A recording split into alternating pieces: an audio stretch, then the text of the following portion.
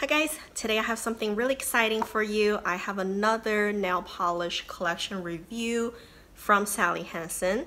This time this is the uh, Miracle Gel line that they put out. Well, this line is not new anymore, but I believe those shades are new released shades. So you can see those are all the shades that I have received. There are six shades plus one matte top coat.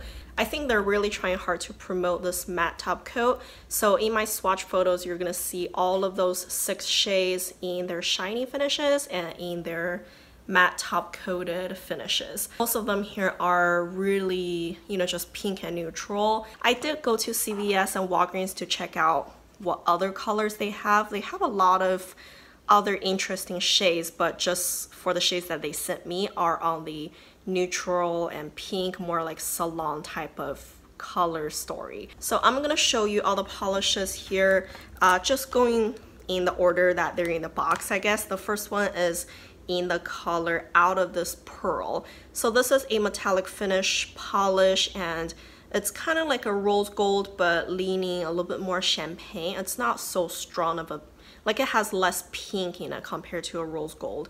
I'm usually not a metallic person. It's just not something I would normally wear. But I know a color like this could be a crowd pleaser. A lot of people must love shades like this. It's really easy to work with. It's basically a one coater. You could use two coats, of course.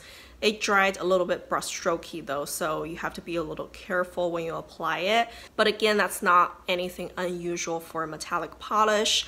I did try the matte top coat over this. The effect is least apparent on this polish. I just don't think metallic polishes really go well with matte top coats. Like they don't, they just don't work all that well together. But regardless, I think this polish itself is really pretty. Also, I assume that you guys are pretty familiar with this line. They have I think there's another line that's also in a bottle shape like this. They have the same brushes. It's a wider brush, slightly curved at the end. It's really easy to use even for my nails because my nails are really narrow. So usually a lot of white brush will cause me problems. But this one doesn't. It's the right amount of width plus a little curve so it's really easy to use. The next color I have is called Can't Beet Royalty. So a couple of polishes in here are named after beets which I think it's really cute. I love beets. I don't know about you, but I just love that like farmer type of style that they named those polishes after and the color beet is just spot on for a color like this. This is kind of like a jelly polish. It's a little bit, I wouldn't say it's on the sheer side, it's just a jelly.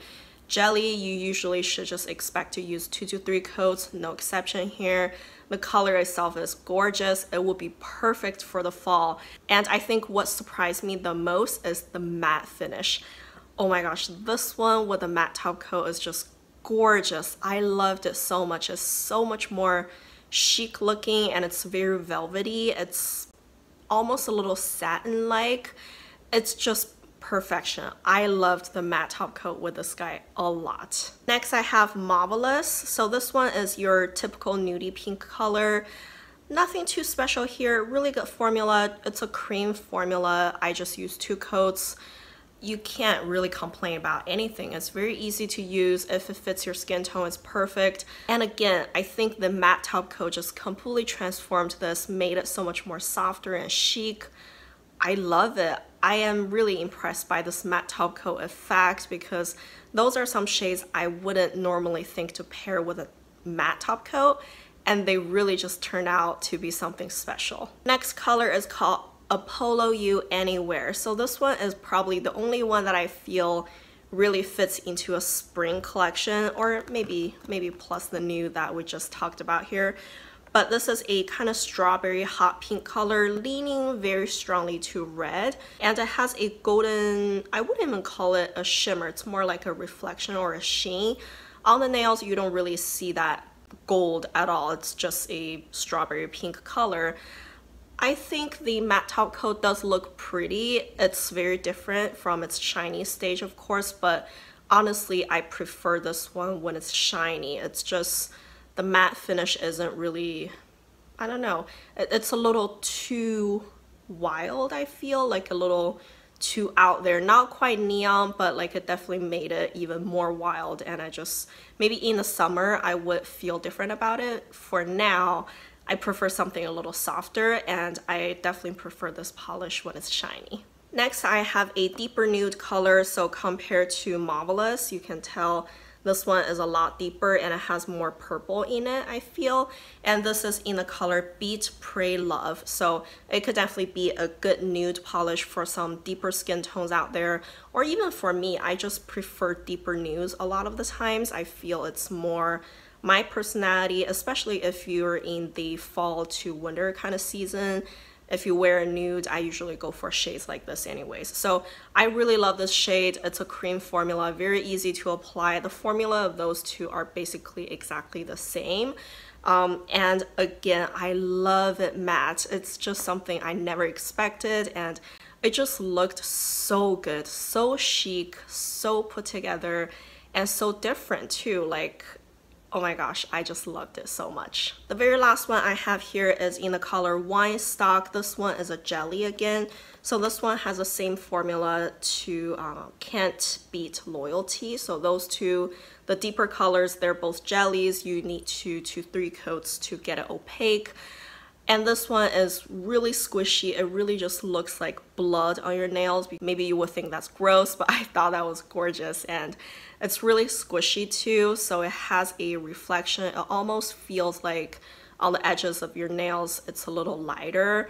So it's just a really different look and I really enjoyed it. And it definitely did not look like a black on your nails. It's like a really, really deep vampy purple red. And I think the matte finish again, it just it took my heart. This matte top coat really transformed and made it even more grungy, more vampy. If anything, I would really, really recommend you to get this matte top coat. This is, uh, it's just called Miracle Gel Matte Top Coat. It looks like this in a opaque bottle and I just thought it was so gorgeous. And I'm so grateful that they put this matte top coat in combination with a whole bunch of really nude or just deeper colors because like I said, I would have never thought about pairing a matte top coat with shades like this and I just, it totally won my heart. And I could not really pick a favorite out of this collection because honestly like I like I love four out of the six shades that they provided here the two nudes and the two jellies so if you guys haven't checked out this line yet I would highly recommend you to and especially if you already have similar colors to those maybe just get the top coat or try those combinations it completely opened my eyes it's such a different experience and I just I loved it. I'm sure I'll be using matte top coat a lot more. I've been using it over some of my other colors as well and it just really gives a different look I guess. So I'm really happy with this and I hope you guys go check it out. They are available at CVS Walgreens you know the drugstores usual.